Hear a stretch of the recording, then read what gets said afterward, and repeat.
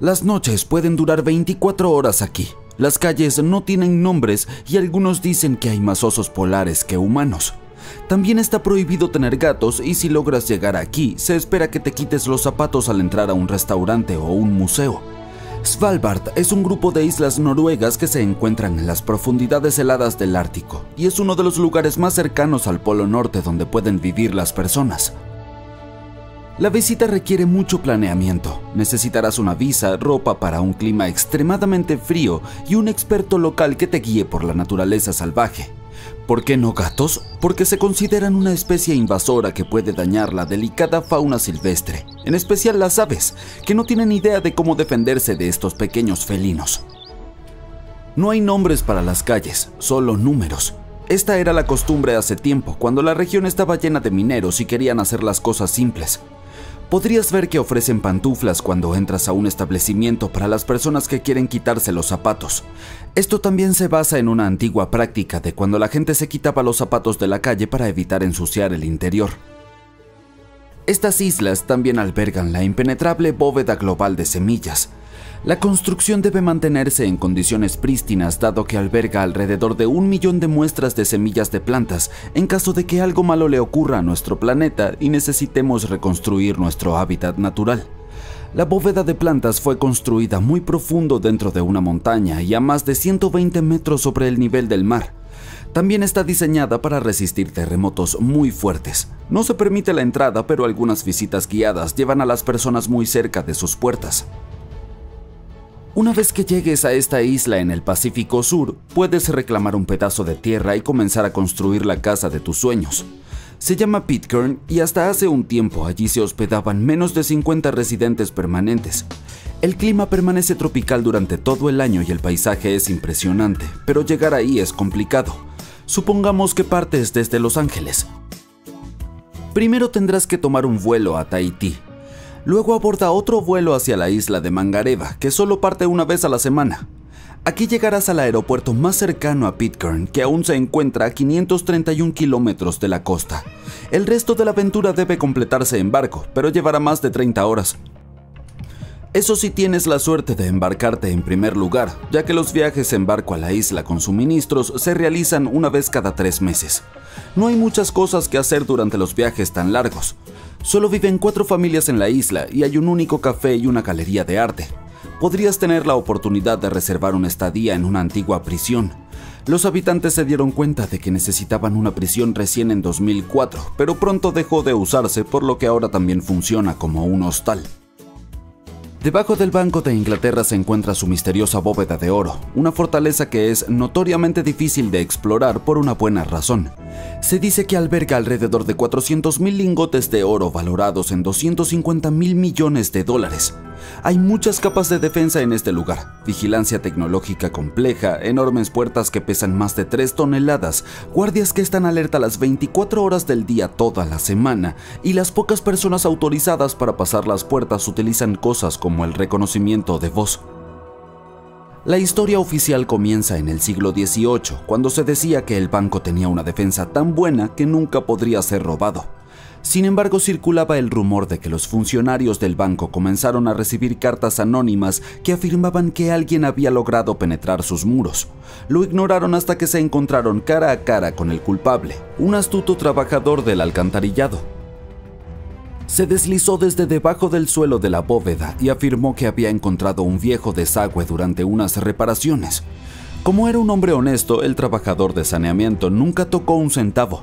Para su sorpresa no fue castigado por irrumpir el banco. Según cuenta la leyenda, fue recompensado con el equivalente a unos 100 mil dólares por haber descubierto la brecha de seguridad. Este alegre edificio es el faro de Thridarangar y se encuentra en la fría Islandia. Esta construcción compacta está situada en el punto más alto de tres rocas que forman un pequeño grupo. Las olas chocan constantemente contra el acantilado, lo que significa que no es accesible por barco. La única manera de llegar allí hoy en día es a través de un helicóptero. No está abierto para turistas, pero hay muchas excursiones guiadas en helicóptero para explorar sus alrededores. Construir este sólido edificio en 1939 fue tremendamente complicado.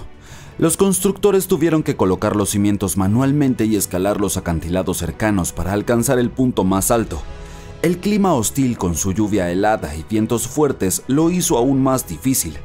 Esas resbaladizas rocas también representan un riesgo, un resbalón y los constructores terminaban directamente en el frío Atlántico Norte. La cuadrilla de construcción tuvo que utilizar sus habilidades de montañismo. Para terminar el faro improvisaron una pirámide humana, una persona de rodillas, otra encima y una tercera sobre ellas.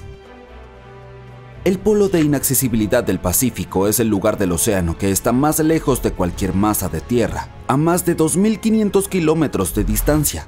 También es una zona triste en cuanto a la vida silvestre. Esta región del Océano Pacífico Sur es vasta, tiene aproximadamente 34 veces el tamaño de Francia, pero la vida marina no puede prosperar aquí debido a las corrientes oceánicas perezosas, que no pueden traer suficientes nutrientes para que sobrevivan criaturas marinas más grandes. Los científicos solo han observado algunas bacterias y pequeños cangrejos en los respiraderos volcánicos del lecho marino. El polo de inaccesibilidad del Pacífico fue ubicado por primera vez en 1992, pero no ha sido muy explorado desde entonces.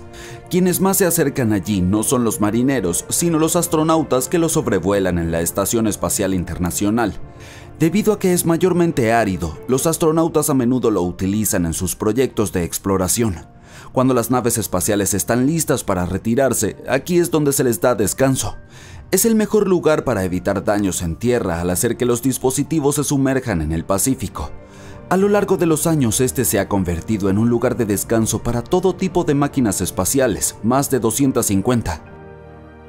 En 1997, el polo de inaccesibilidad también se convirtió en el origen de un sonido extraño que escucharon los científicos marinos, llamado gloop, aunque inicialmente había emoción al asociar el extraño ruido con alguna criatura oceánica peligrosa, pronto se descubrió que el sonido era producido por un sismo submarino causado por el hielo.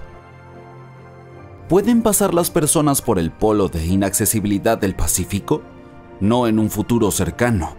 La ubicación exacta de este punto se calculó utilizando un software especial para resolver el desafío del nado más largo, el objetivo era conocer el punto del océano global donde, si alguien cae de un barco, estaría más lejos de cualquier tierra en todas las direcciones.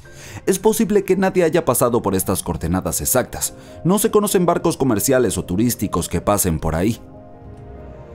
El abismo de Eranice se encuentra en la República Checa y es la cueva inundada más profunda del mundo, ya que mide más de 500 metros. Los científicos aún no han determinado cuán profundo llega en la Tierra. Además no se formó como la mayoría de las fosas desde la superficie de la Tierra hacia abajo. Esta se formó de abajo hacia arriba debido al agua mineral tibia llena de dióxido de carbono. Esta mezcla efervescente emergió desde lo profundo de la Tierra y fue erosionando la piedra caliza.